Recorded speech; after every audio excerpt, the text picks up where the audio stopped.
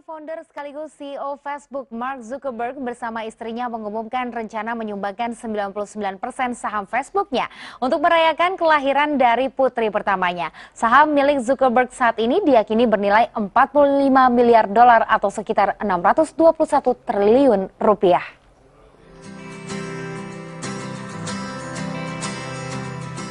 Mark Zuckerberg membuat rencana besar dengan menyumbangkan 99% saham Facebook miliknya yang ditaksir bernilai 45 miliar dolar atau sekitar 621 triliun rupiah.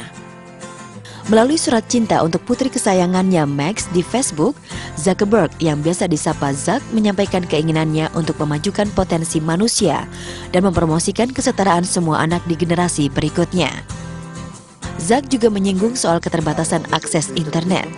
Zak menilai akses internet sangat penting bagi setiap orang, di mana satu orang bisa keluar dari kemiskinan dan sekitar satu pekerjaan baru bisa diciptakan.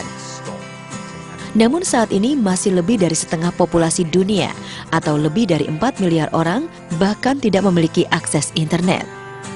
Zak berharap sumbangan saham Facebook bisa mengangkat ratusan juta orang untuk keluar dari kemiskinan dan membantu ratusan juta anak untuk mendapatkan pendidikan dan menyelamatkan jutaan nyawa dari penyakit.